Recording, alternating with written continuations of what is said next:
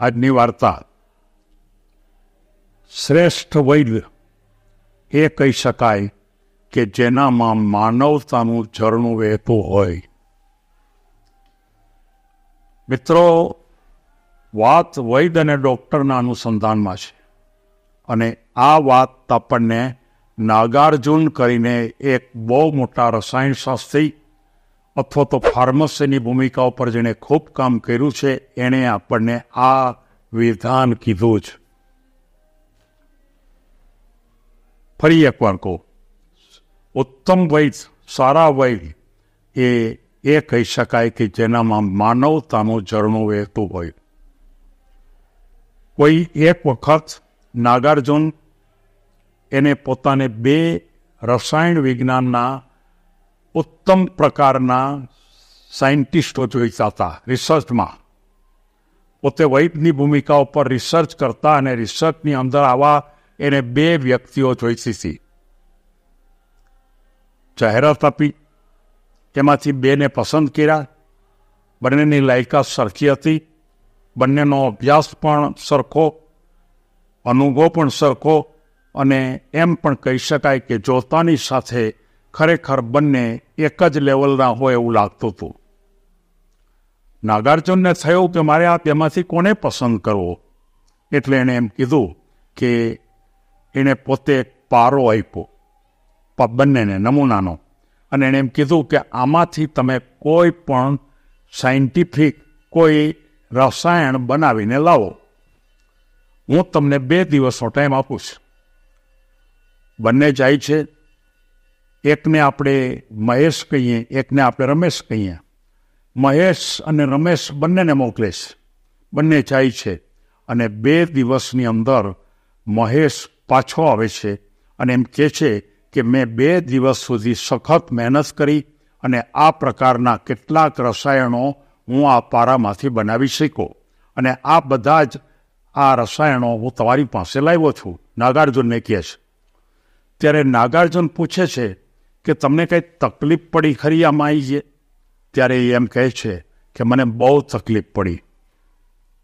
એમાં મને તકલીફ એ પડી કે મારા પિતાને બરોબર આ જ સમયે એટેક આવ્યો. અને મારી માતા છે, બીમાર છે. ઘરમાં કોઈ નથી. એટલે મારી માતા મારા પિતાને લઈ અને એ ત્યાં હોસ્પિટલમાં લઈ ગયા અને ત્યાં એની પાસે જે રહ્યા અને એ દરમિયાન મેં આ કામ ચાલુ જ રાખ્યું. આ પ્રકારે કામ, કારણ કે તમે કીધું હતું કે જેટલું વધારે બનાવી શકાય એટલું તમે લાવજો. એટલે મને એમ થયું કે આ બે દિવસમાં મેં મારા ફાધરને વાત કરી અને એમ કીધું, કાંઈ વાંધો નહીં.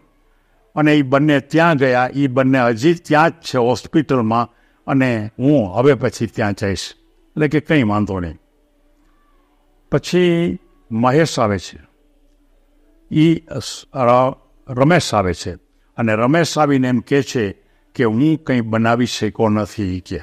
અને હું અહીંથી ગયો અને રસ્તાની અંદર એક માણસ છે બેસુદ પડેલો હતો. એનો કોઈ માણસો હતા નહીં. એના સગા સંબંધી કોણ હશે એ ખબર નહોતી. એટલે મને એમ થયું કે આ બેશુદ્ધ માણસ છે એકદમ.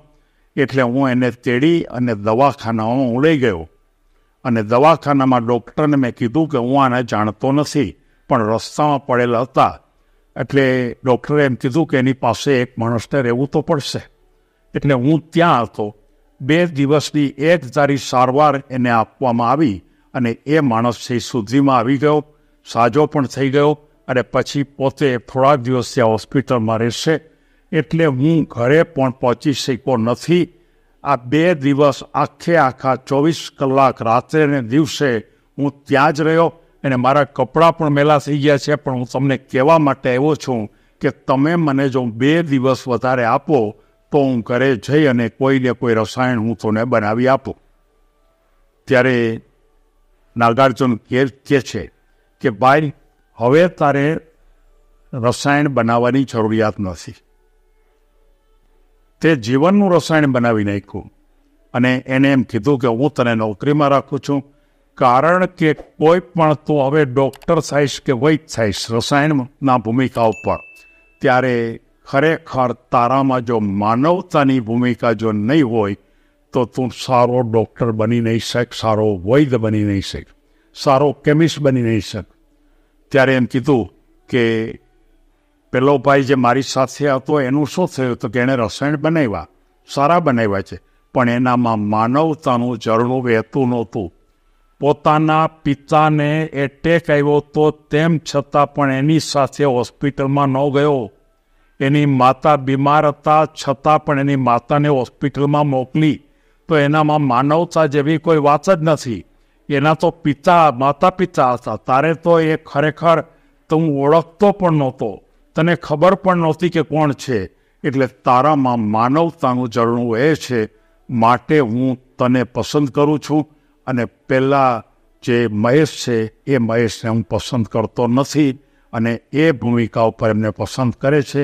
ત્યારે મારે સૌ આપણા કોઈ આ ક્ષેત્રમાં રહેલા યુવાનોને મારે કેવું છે કે તમે જો ખરેખર કોઈ વૈદ્ય કે કોઈ અન્ય કોઈ મેડિકલ ક્ષેત્રની ભૂમિકામાં હો, ત્યારે તમારામાં જો માનવતા નહીં હોય તો તમે એ ક્ષેત્રમાં અમુક ઊંચાઈથી વધારે પહોંચી નહીં શકો કદાચ કોઈ ભૌતિક રીતે તમે આગળ નીકળી જાઓ કદાચ પૈસા પણ કમાઈ શકો પ્રતિષ્ઠા પણ કમાઈ શકો પણ જે માનવતાની ભૂમિકા છે એમાં તમે ક્યાંય નહીં કહી શકો એમ આપણને બહુ શ્રેષ્ઠ ભારતના એક ઉત્તમ પ્રકારના રસાયણ વૈજ્ઞાનિક નાગાર્જુન આપણને સૌને સલાહ આપે છે મા દરેક માતાને પણ મારે કહેવું છે કે તમારા સંતાનોને પણ આ સલાહ આપો. જો એ મેડિકલ કે અન્ય કોઈ આરોગ્યના ક્ષેત્રમાં હોય તો એને માનવતાનું ઝરણું વહેતું રાખવાનો પ્રયત્ન કરો. ઓમ તો છેલ્લે એક જ વાત મારે કહેવી છે કે માનવતાનું ઝરણું વહેતું રાખવું એ તો દરેક માનવી માટે જરૂરી છે. પણ એમાં આ ક્ષેત્ર માટે વધારે જરૂર છે માટે એ વસ્તુ મેં પસંદ કરી. સૌને ધન્યવાદ.